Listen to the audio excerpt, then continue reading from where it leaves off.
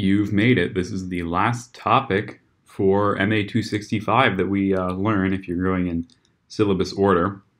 These are the two orthogonal diagonalization questions we've had uh, from the past six finals.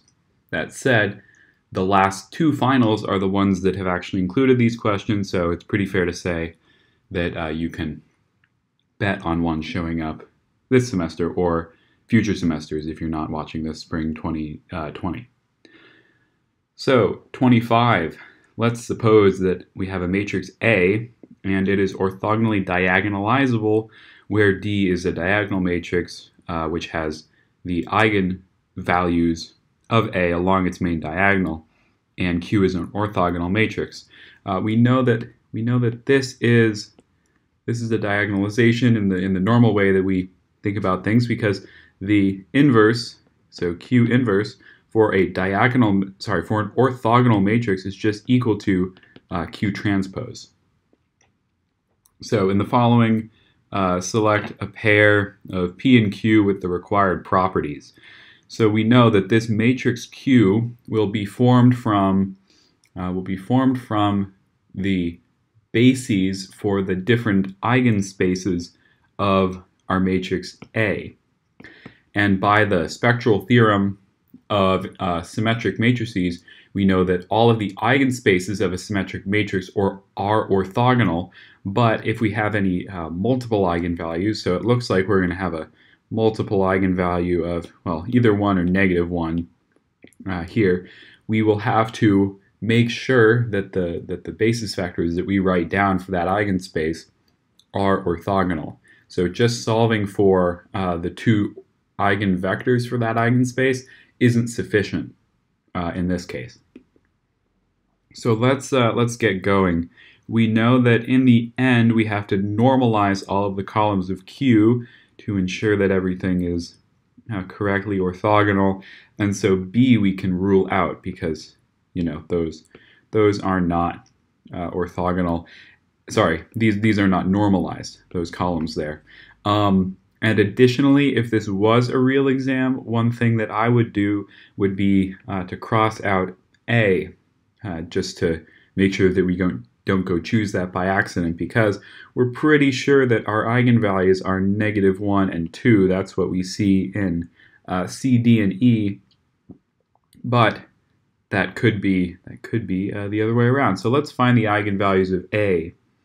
We will be solving the determinant of A minus lambda I so we can just put a negative lambda, negative lambda, negative lambda in here and solve for our determinant. This, this is going to be pretty big. Uh, so we have negative lambda multiplied by the determinant of this matrix minus 1 multiplied by the determinant of this matrix and plus 1 multiplied by the determinant of this matrix. Just doing our normal uh, 3 by 3 determinant expansion. expansion. So we have negative lambda multiplied by lambda squared minus 1, and then we have minus 1 multiplied by negative lambda minus 1, and then finally we have plus 1 multiplied by multiplied by uh, 1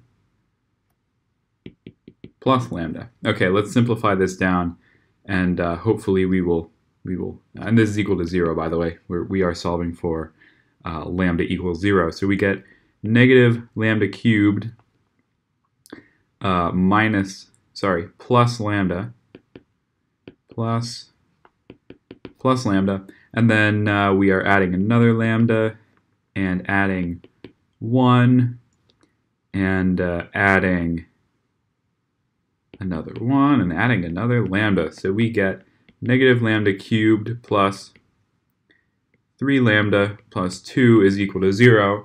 And just to, uh, just to ensure that our hunch is correct, so we don't have to go and actually factor this entire thing, let's make sure that uh, the factored expression that would give us uh, these three eigenvalues expands out to this. So that would be lambda plus 1 squared times lambda minus 2. That's lambda squared plus 2 lambda plus 1 times lambda minus 2. And, well, okay, uh, I have a hunch that when we expand this out, we're going to get negative 1 times this, uh, which, which will have the same roots, and uh, that'll be great. So let's, let's expand this. We get lambda cubed minus 2 lambda plus, sorry, minus 2 lambda squared plus 2 lambda squared minus 4 lambda plus lambda minus 2. So we get lambda cubed minus 3 lambda minus 2. Multiply that by negative 1, and we get exactly this expression we have up here. So we know that our eigenvalues, our eigenvalues are lambda equals negative 1 with a multiplicity of 2, and lambda equals 2. So let's go with lambda equals 2 to start off with, because uh, that, that'll be That'll be the easier one to deal with. And let's plug that into A minus lambda I. So for lambda equals 2, this matrix is 1 everywhere else. Okay, so we'll get negative 2, 1, 1, 1, negative 2, 1, uh, 1, 1, negative 2. Let's simplify this down. Let's add two row 2's to row 1. That gives us uh, 0 minus 4, so negative 3 and 3 we can simplify that to 1, negative 1, 1, negative 2, 1, 1, 1, negative 2. Let's add two row 1s to row 2. That gives us 0 and negative 1 there. Let's subtract row 1. Let's subtract row 1 from row, uh, sorry, row 2 from row 3. That gives us a 0 and a negative 1. We can use row 1 to set that to 0, 0 and that looks good. So because we only have one eigen, uh, sorry, one free variable here, so we'll only have one eigenvector associated with this eigenvalue, lambda equals 2, all we can do is just solve for that normal eigen, eigen uh, vector. So because uh, x1, if we set this equal to 0, uh, x1 is equal to 1x3 x2 is equal to 1 x3 and x3 is equal to 1 x3 as well, there is there is our uh, eigenvector, and if we if we normalize it to find a uh, an ortho well, it's not orthonormal yet, but to find a, a normal basis vector for this space, uh, we get 1 over root 3. So this is this is our first pair of eigenvectors and or uh, bases for our eigenspaces and uh, eigenvalues. Okay, you, you, know what I mean. So uh, if we look at our answer choices, that matches uh, with all of them. We, we see that 1 over root 3 uh, everywhere. So then our last real uh, job is doing the same process with lambda equals negative 1. That will give us 1, 1, 1, 1, 1, 1, 1, 1, 1. We can simplify that down to that matrix and write out uh, this as an equation set equal to 0, we get x1 plus x2 plus x3 is equal to 0. So what they like to do here, kind of the process that they use for, for finding uh, an, an, orthogonal basis for this uh, vector space, is let's set let's set x1 and x2 equal to 1. If x1 and x2 are 1, x3 must be negative 2 for this condition to hold. So 1, 1, negative 2 is a vector uh, that works for this. And of course, we'll have to divide by 1 over root 5 to normalize it. But then, oh sorry, 1 over root 6. I, I, can't I can't really count. There we go. So then what is what is a vector that is orthogonal to this one? Well, the, the easiest one I can come up with um, is 1, negative 1, 0. We multiply those together. We multiply, oh, sorry, if we dot take the dot product of both these 1 over root uh, 2, there we go. If we take the dot product, we will get 0, and since both of these satisfy the equation that kind of uh, defines this eigen, uh, eigenspace, then these two are perfectly, uh, perfectly reasonable uh, basis vectors uh, or orthogonal basis vectors for our eigenspace, which is exactly what we're looking for because we already uh, are ensured that these two vectors, because they come from a different eigenspace than uh, where we got this one, they will automatically be orthogonal, and you can test that And uh, yeah, just, just looking through it, all three combinations of these uh, will be orthogonal to each other. Their dot products will all evaluate to zero. So that means that uh, our columns corresponding to negative 1 and 1 should have a, uh, well, there we go, 1, 1, uh, negative 1, and 1, 1, negative 2.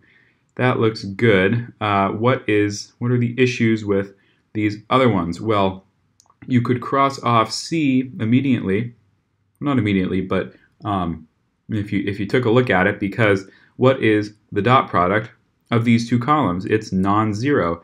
Additionally, uh, the dot product of you know the other two the, the other two do work. Uh, but so, so in the end, that one's wrong because we have two columns that aren't orthogonal to each other. And then looking at D, they have all of all of the correct vectors that we've found, but uh, they're associating them with the wrong eigenvalues. So we want 2 to be associated with 1, 1, 1, uh, where here they have it as related to negative 1. So that's, that's no good, and we land on E, which is our correct answer. 25. Which of the following orthogonal uh, matrix satisfies this, is, this expression right here? So yet again, we are just solving for uh, the matrix Q, which will be formed by the uh, orthogonal basis vectors for the uh, eigenspaces, eigenspaces of this matrix here.